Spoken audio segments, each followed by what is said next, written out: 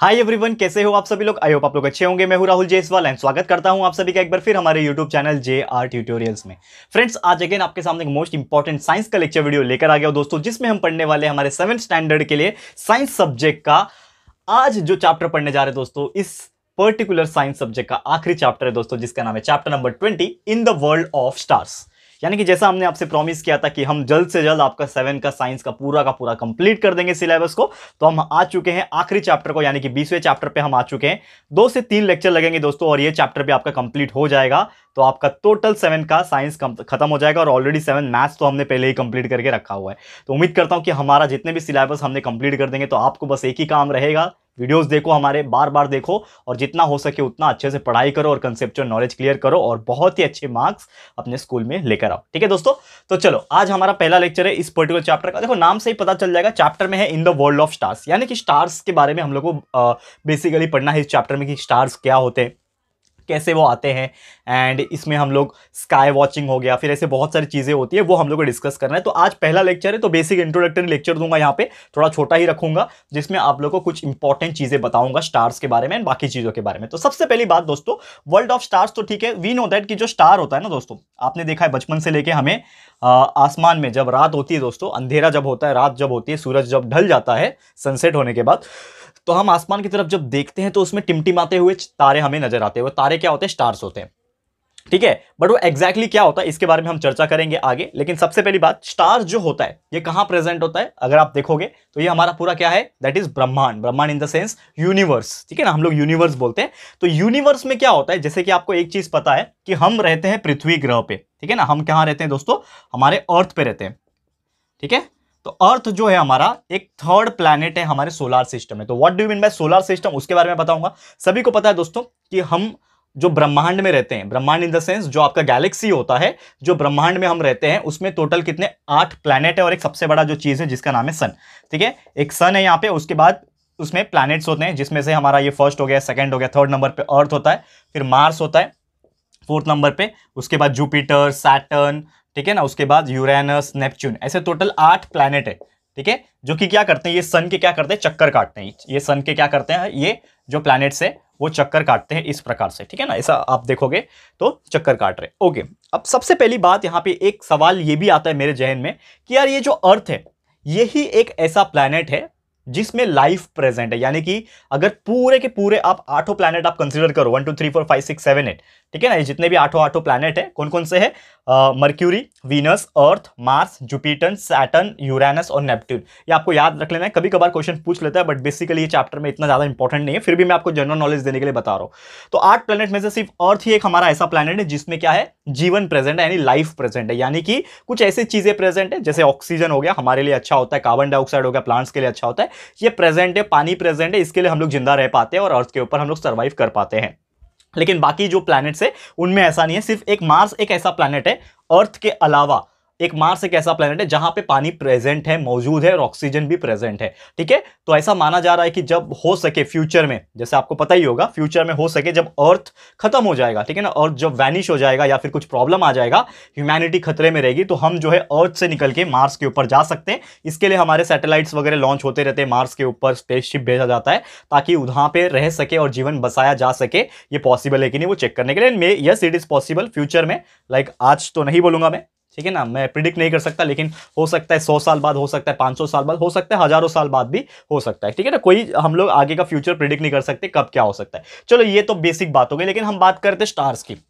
तो हम जब अर्थ पे रहते हैं, पृथ्वी पे हम रहते हैं तो हम इंसान जो है पृथ्वी पे रह रहे हैं और आसमान की तरफ़ देखते हैं तो ये पूरा क्या है? ये पूरा हमारा क्या है दोस्तों? एक गैलेक्सी है। ये पूरा क्या है? ये एक गैलेक्सी है, एक तरीके से हमारा बोल सकते हैं ब्रह्मांड है। ठीक है? और ये गैलेक्सी में हम लोग कहाँ रहते हैं? सोलार सिस्टम में रहते हैं। तो ऐसे देखा जाए, जो हमारा जो ब्रह्मांड है ना, ऐसे बहुत सारे गैलेक्सी प्रेजेंट ऐसे बहुत सारे मिल्की वे भी प्रेजेंट है। आकाश गंगा जिसको बोलते हैं। आगे बताऊँगा, बात करूँगा आगे। ठीक है? तो ऐसे बहुत सारे प्रेजेंट है और उसमें भी अपने अपने सोलार सिस्टम होंगे। हम ऐसा नहीं बोल सकते कि सन सिर्फ़ एक ही है। हम बोल सकते हैं कि सन बहुत सारे तो ये सब चीज़ का साइंटिस्ट लोग अभी भी खोज खबर कर रहे हैं। स्पेस इतना बड़ा चीज़ है। स्पेस जो होता है ना आपका ब्रह्मांड, ठीक है? अंतरिक्ष जिसको बोलते हैं। वो इतना बड़ा चीज़ है कि किसी ने उसकी गहराई नहीं नापी है कि वो कितना दूर तक फैला हुआ या फिर कितना नीचे है, कितना ऊपर है, किसी को नहीं मालूम है। बस इतना चीज़ मालूम है कि एक गैलेक्सी है जिसमें हम लोग इतने सारे प्लानट रहते हैं और चक्कर काटते रहते हैं सन का, जिसमें अर्थ पे हम रहते हैं, ये पता है। तो स्टार्स का क्या खेल है? Stars is one of the most important thing जैसे कि आपको पता होगा कि जो आ, हम आसमान की तरफ़ देखते हैं जो स्टार्स होते हैं ना तो स्टार्स मतलब क्या होता है? एक तरीके से गैसेस के बने हुए एक तरीके से आप बोल सकते हो स्ट्रक्चर्स होते हैं जैसे सन है आपका। तो सबसे बड़ा स्टार खुद है सन ठीक है? सन जो है वो खुद एक सबसे बड़ा स्टार है ठीक है ना? ऐसा माना जाता है कि अब ये जो हमारा सोलार सिस्टम है ना जिसमें हम रहते हैं ये हमारा जो सोलार सिस्टम है जो ब्रह्मांड है हमारे लिए अर्थ वाला इसमें सबसे बड़ा जो चीज़ है वो सन है और सबसे बड़ा स्टार को माना जाता है। एंड बाकी ये जो क्या है? प्लैनेट्स है। और एक चीज़ है, स्टार के पास खुद का लाइट होता है। स्टार जो होता है खुद अपना लाइट को छोड़ सकते हैं, यानी कि चमकते हुए दिखाई देंगे। लेकिन प्लैनेट जो है, खुद के पास उनका लाइट नहीं होता है। वो लोग क्यों चमकते हैं? अगर हम दूसरे प्लैनेट्स को देखेंगे यहाँ से टेलीस्कोप के थ्रू तो हमें वो चमकते हुए दिखाई देंगे। प्लैनेट्स भी चमकते हुए दिखाई देंगे, लेकिन उसका खुद का लाइट नहीं होता है, वो सन का रिफ्लेक्शन होता है। सन का जब लाइट पड़ता है तो हमें दिखाई देता है। तो ये बेसिक चीज़ मैं आपको बता रहा था दोस्तों। तो ये तो कुछ लाइक एक्स्ट्रा नॉलेज मैंने आपको दिया है कंसेप्चुअल नॉलेज दिया है। उम्मीद करता हूँ कि आपको हेल्प करेगा। अब चलते हैं सीधा मुद्दे की बात पे, जो स्टार्स के बारे में बता रहा था। तो जो स्टार्स होता है ना दोस्तों, ये स्टार कहाँ से आता है? इट कम्स फ्रॉम या फिर बॉर्न फ्रॉम बॉर्न मतलब जन्म लेना। जैसे हम लोग अपनी जो मदर होती है, उसके वॉम्ब से, यानी गर्भ से हम लोग पैदा होते हैं दुनिया में बाहर आते हैं। वैसे जो स्टार्स होते हैं, वो कहाँ से बॉर्न होते हैं? वो बॉर्न होते हैं नेब्यूले से, ठीक है ना? तो नेब्यूले क्या होता है? वो भी बताऊँगा, लेकिन आपको याद रखना है कि स्टार्स जो होते हैं इट बॉर्न फ्रॉम नेबुले और नेबुले क्या होते हैं? नेबुले की अगर मैं बात करूँ तो नेबुले आर द क्लाउड्स क्या होते हैं? एक तरीके से क्लाउड्स होते हैं। हमारा जो आसमान में क्लाउड होते हैं, वैसा क्लाउड नहीं, एक ऐसे क्लाउड्स होते हैं, जो कि क्या करता है, इसमें मेनली कौन सी गैसेस भरी होती है? हाइड्रोजन गैस और डस्ट पार्टिकल भरे होते हैं।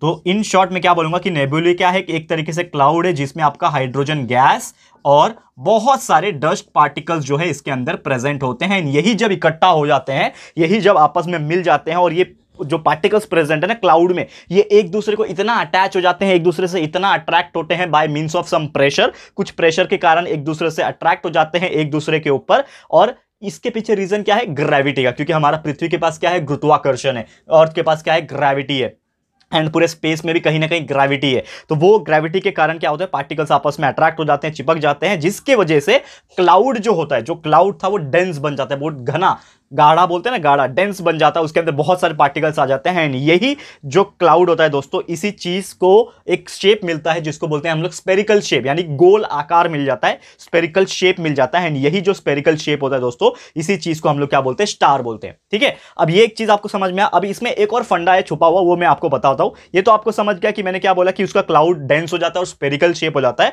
और एट द सेम टाइम उसमें क्या आ जाता है ये गैसेस और डस्ट पार्टिकल जब एक दूसरे से अट्रैक्ट हो रहे थे, एक दूसरे के करीब आ रहे थे अटैच हो रहे थे प्रेशर के कारण और ग्रेविटी के कारण तो इनमें क्या हो जाता है ट्रिमेंडस अमाउंट ऑफ़ टेम्परेचर भी बढ़ जाता है।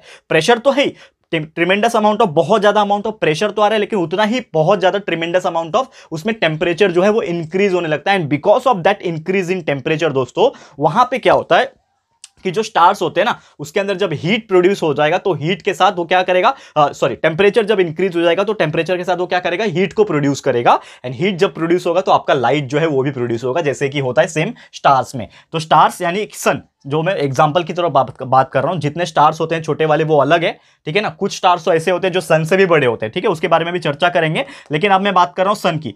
तो सन में अगर मैं एग्ज़ाम्पल के तौर पर बताऊँ हाइड्रोजन गैस और साथ में हीलियम गैस ये पूरे गैस से ही बने हुए हैं करेक्ट और इसमें बहुत ज़्यादा गैसेस बने हुए एंड दैट्स वाई ये स्टार बना हुआ है। तो इसमें जब गैसेस आपस में रिएक्ट करते हैं तो हीट प्रोड्यूस होता है and because of that heat जो है लाइट भी प्रोड्यूस होता है और वो पूरा लाइट हमारा सोलर सिस्टम को देता है ठीक है ना? हमारे जितने भी प्लैनेट्स है उसको प्रोवाइड करता है। तो इन शॉर्ट मैंने क्या बोला कि बिकॉज़ जब ये क्लाउड्स आपस में नज़दीक आए गैस जब नज़दीक आया तो उसमें बहुत ज़्यादा हीट प्रोड्यूस हुआ टेम्परेचर की वजह से एंड जिसके वजह से आपका जो क्लाउड है वो क्या हो जाएगा? एक तरीके से बहुत ही ज़्यादा ब्राइट हो जाएगा चमकीला हो जाएगा और उसी चीज़ को हम लोग क्या बोलते हैं? स्टार बोलते हैं जो कि अगर हम दूर से देखेंगे है तो वो राउंड स्पेरिकल शेप है, है तो वो राउंड लेकिन जब हम लोग अर्थ से उसको देख रहे हैं अर्थ से हम लोग अर्थ के ऊपर खड़े हैं ना तो हम आसमान की तरफ़ जब देख रहे होते तो वो हमें इतना चमकता हुआ दिखाई देता है और इस प्रकार दिखाई देता है। ये तो हमने खुद से शेप बनाया ना जैसे एक्चुअल में बात बोलूँ कि हम जब भी हार्ट की बात करें दिल की बात करते हैं तो हम ऐसा शेप बनाते हैं दिल का ठीक है ना? दिल का कुछ ऐसा शेप बनाते हैं? देखो मेरे से बन भी नहीं रहा है। ठीक है? कुछ ऐसा शेप बनाते हैं दिल का ठीक है ना? ऐसा। ऐसा शेप बनाते हैं ना दिल का। लेकिन एक्चुअली में ऐसा शेप होता है क्या दिल का हमारे नहीं होता है ऐसा, बहुत अलग होता है, ठीक है? बस हम लोग दिखाने के लिए बनाते हैं, वैसे स्टार जो होते हैं, वो ऐसा दिखने के लिए हम लोग दिखाने के लिए बनाते हैं, लेकिन एक्चुअल में वैसे नहीं होते, वो गोल होते हैं स्पेरिकल होते हैं, दूर से वो चमकते हुए दिखाई देते हैं दैट्स वाई ऐसा आपको नज़र आता है वो चीज़, ठीक है दोस्तों? तो उम्मीद करता हूँ कि ये चीज़ भी आपको समझ में आ गया होगा। और अगर आगे बढ़ते हैं तो इन शॉर्ट मैंने क्या बोला कि स्टार जो होगा, आपका जो भी स्टार होगा स्टार में कौन सा गैस भरा हुआ है? हाइड्रोजन गैस तो ये अक्सर बहुत ज़्यादा पूछा जाने वाला क्वेश्चन है कि बताओ कि स्टार में कौन सा गैस है? तो आप बोल सकते हो कि हाइड्रोजन गैस इसके अंदर भरा हुआ है। और साथ में बोला है कि जो स्टार्स होते हैं ना, ये बहुत सारे प्रकार के होते हैं, बहुत सारे टाइप के स्टार्स होते हैं। कुछ मैंने नाम इंट्रोड्यूस किया हुआ है। तो अगर मैं बात करूँ there are various types of star एक होता है ऑर्डिनरी स्टार ठीक है ना? एकदम साधारण सा स्टार होता है। इसको मैं थोड़ा सा रफ कर लेता हूँ, थोड़ा सा स्पेस मुझे मिल जाएगा ताकि मैं कुछ चीज़ें आपको लिख सकूँ यहाँ पे, ठीक है? यहाँ पे मैं मिटा देता हूँ इसको।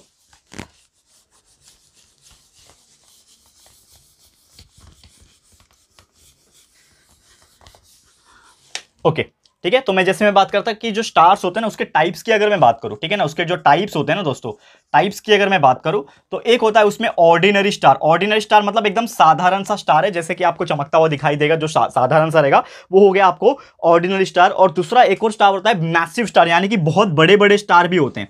मैसिव यानी कि बहुत बड़ा स्टार आपको नज़र आ रहा है, अगर बहुत बड़ा दिख रहा है साइज़ में तो वो हो जाएगा मैसिव स्टार इसके अलावा अगर बात करें, कुछ ऐसे स्टार होते हैं जो रेड कलर के होते हैं और बड़े भी होते हैं.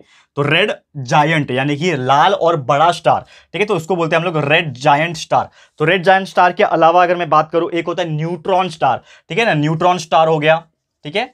और फिर होता है, एक और कंसेप्ट है ब्लैक होल आपको पता ही होगा, एक ऐसा होल है जहाँ पे हर चीज़ जाके गायब हो जाती है। तो ब्लैक होल वगैरह का कंसेप्ट यहाँ पे नहीं है, लेकिन फिर भी मैंने बता दिया आपको, इसके बारे में आप फ्यूचर में स्टडी कर सकते हैं और कोशिश करूँगा कि मैं फ्यूचर में आपके लिए कुछ अलग से, जब इनोवेशन वाला वीडियो बनाऊँगा, कुछ अलग जानकारी देने के लिए वीडियो बनाऊँगा तो ज़रूर से मैं आपको बताऊँगा कि वो ब्लैक होल क्या होता है। बहुत इंपॉर्टेंट है big bang theory black hole ये बहुत ही मज़ेदार चीज़ है यार स्पेस के बारे में पढ़ने में मज़ा ही कुछ और है। तो ये ज़रूर से आप करना ओके ये तो बात हो गई टाइप्स ऑफ़ स्टार की और एक और दो तीन चीज़ें हैं, यहाँ पे मैं बता देता हूँ, फिर हम लोग आज का लेक्चर को स्टॉप करेंगे क्योंकि बेसिक इंट्रोडक्टरी लेक्चर था खाली। और दो तीन से दो से तीन चीज़ें यहाँ पे कि जो हमारा सोलर सिस्टम है, जो मैंने आपको अभी ड्रॉ करके दिखाया था कि सन है सन के आगे मर्क्यूरी है वेनस है, फिर हमारा अर्थ है मार्स है जुपिटर है सैटर्न है यूरेनस और ये जो हमारा सोलर सिस्टम है, यानी प्लैनेट और सन का जो सिस्टम है हमारा, वो सबसे छोटा सिस्टम माना जाता है। ठीक है ना? मतलब आप इमेजिन कर सकते हो, यार, दुनिया इतनी नहीं है। हम तो पृथ्वी के ऊपर रहते हैं तो हमारा पृथ्वी कितना बड़ा लगता है हमें। तो सोचो यार, ऐसे कितने आठ प्लैनेट है सन है और ये तो एक गैलेक्सी का हिस्सा है। और उसके अलावा भी सोचो और भी कितने सारे होंगे। मतलब किसी ने देखा ही नहीं है उस उस आ, हम लोग पिक्चर में मूवीज़ वगैरह में दिखाते हैं लोग कहाँ कहाँ चले जाते हैं दूसरे ग्रह पे चले जाते हैं स्पेस शिप उड़ा के। लेकिन इतना आसान नहीं होता दोस्तों। तो हमारा जो इंसानियत है यानी ह्यूमैनिटी जो है वो अभी स्टिल साइंटिस्ट लोग रिसर्च कर रहे हैं। They are trying to reach that beyond the limit कि यार क्या है इसके पीछे जानने की कोशिश कर रहे हैं। एलियन होते हैं नहीं होते हैं एग्जिस्ट करते हैं नहीं करते हैं। ये सभी चीज़ के ऊपर खोज अभी जारी है दोस्तों। कुछ भी हो सकता है we can't predict anything because anything is possible we can not say कि यार साइंस है, और साइंस कितना गहराई तक जा सकता है वो हमें नहीं पता। इसके लिए साइंस सब्जेक्ट बहुत ही अच्छा होता है दोस्तों, अगर आप इसके बारे में डीप में नॉलेज में पढ़ोगे तो आपको बहुत हेल्प करेगा, ठीक है? तो जैसे मैंने बोला कि हमारा सोलर सिस्टम क्या है? एक पार्ट है, एक छोटा सा हिस्सा है किसका? गैलेक्सी का। जो हमारा क्या है? सोलर सिस्टम जो है दोस्तों, ठीक है? सोलार जो सिस्टम है, वो हमारे गैलेक्सी का। किसका? गैलेक्सी का एक छोटा सा हिस्सा है। बहुत ही छोटा सा हिस्सा है तो सोचो गैलेक्सी कितना बड़ा रहेगा। और यही जो सोलर सिस्टम हमारे गैलेक्सी का जो छोटा सा हिस्सा है ना, उसी चीज़ को हम लोग बोलते हैं मिल्की वे आकाश गंगा। ठीक है ना? मिल्की वे इसमें बहुत सारे स्टार्स जब आपस में मिलके रहते हैं तो उसको हम लोग बोलते हैं मिल्की वे और गैलेक्सी जो होता है ना many times larger than the solar system जो गैलेक्सी होते हैं। ठीक है ना गैलेक्सी जो है तो सोलर सिस्टम उसका छोटा सा हिस्सा है तो सोचो आप गैलेक्सी क्या होगा? बहुत ही बड़ा होगा सोलर सिस्टम से कई गुना, कई कई गुना ज़्यादा बड़ा होगा, ठीक है? Many many times larger than the solar system and बात किया जाए there are lakhs of star in the Milky Way हमारे मिल्की वे में, हमारे आकाश गंगा में लाख ऑफ़ स्टार मतलब लाख क्या करोड़ों होंगे यार लैक्स ऑफ़ स्टार्स प्रेजेंट है, लेकिन हमें कुछ ही दिखाई देते हैं बहुत सारे ऐसे होते हैं जो काफ़ी दूर होते हैं तो उसकी लाइट हमारे तक नहीं पहुँच पाती है। कुछ तो ऐसे स्टार होते हैं जो हमारे सन जो कि ऐसा माना जाता है कि सबसे बड़ा स्टार है ना सन को ही बोलते हैं ना हम लोग सबसे बड़ा स्टार लेकिन ऐसे बहुत सारे स्टार है जो हमें पता नहीं है, वो सन से भी बड़े हैं, ऐसा माना जाता है according to the research of science and technology ठीक है तो वो कुछ ऐसे होते हैं बिगर देन द सन होते हैं, और सन भी आपको पता ही स्टार ही है। एंड ये था हमारा आज का इंट्रोडक्टरी पार्ट जिसमें मैंने आपको स्टार्स क्या होता है, कैसे फॉर्मेशन होता है क्या क्या गहराई होती है स्पेस के बारे में थोड़ा बहुत अपनी तरफ़ से जो मैंने जानकारी देने की कोशिश की है। उम्मीद करता हूँ कि आपको ये समझ में आ गया होगा। तो आज का लेक्चर इतना ही। हम लोग नेक्स्ट लेक्चर में आपके लिए लेकर आ जाएँगे जल्द से जल्द लेक्चर नंबर टू में, जिसमें आपको एक्चुअल टॉपिक जो कंस्टलेशन होता है वॉचिंग द स्काई हॉरिजोन वगैरह क्या होता है, ये सभी चीज़ पढ़ाएँगे। तो आपको बिल्कुल चिंता नहीं करना है। आज हमारा जस्ट बेसिक इंट्रोडक्टरी लेक्चर था, लेकिन उतना ही ज़्यादा इंपॉर्टेंट और कंसेप्चुअल नॉलेज के लिए था। तो उम्मीद करता हूँ कि आपको ये चीज़ हेल्प किया रहेगा। और ज़रूर से आप लोग को ये चीज़ समझ में आ गया होगा। तो आज के लिए इतना ही। जल्द मिलेंगे हमारे अगले लेक्चर वीडियो में। तो ये वीडियो आपको कैसा लगा दोस्तों? प्लीज़ हमें कमेंट करके बताइएगा। अपनी राय और सजेशन ज़रूर से दीजिएगा। और अगर आपको ये वीडियो पसंद आया है यूजफुल लगा है फ्रेंड्स तो प्लीज़ वीडियो को लाइक कीजिएगा शेयर कीजिएगा। यार, बहुत इंपॉर्टेंट हो जाता है शेयर करना, क्योंकि जब आप वीडियोस देखते हो, आपके लिए देख रहे हो, लेकिन आप अगर वो चीज़ शेयर करते हो तो आप अपने अलावा और लोग को भी भलाई कर रहे हो। ठीक है ना? उन तक वीडियो पहुंचेगा तो हो सकता है वो वीडियो उनको ज़रूरत हो। वो उनको मिल नहीं पा रहा होगा, उनको पता ही नहीं होगा कि यार हम इतना मेहनत करके उनके लिए वीडियोस बनाते हैं। तो उन तक पहुंचाओ यार, आप लोग की रिस्पॉन्सिबिलिटी है पूरे महाराष्ट्र में स्प्रेड कर दो। जितने भी हमारे महाराष्ट्र स्टेट बोर्ड के स्टूडेंट हैं, सब तक फैला दो। हर एक बच्चा यहाँ पे वीडियोज़ देखना चाहिए, ताकि उसका ईच एंड एवरी टॉपिक और कंसेप्ट नॉलेज क्लियर हो जाए और बहुत ही अच्छे हो जाए हमारे सब स्टूडेंट्स पढ़ाई में और देश का नाम रोशन करके दिखाए। ठीक है दोस्तों? तो ज़रूर से लाइक शेयर एंड सब्सक्राइब कर देना चैनल पर अगर आपने नहीं किया अब तक और साथ में बेलाइकन को हिट कर देना। ताकि जब भी हम लोग वीडियोस अपलोड करते हैं तो आप लोगों को नोटिफिकेशन मिलती रहेगी। ठीक है फ्रेंड्स तो मिलते हैं हमारे अगले वीडियो में। यह वीडियो देखने के लिए thank you and good bye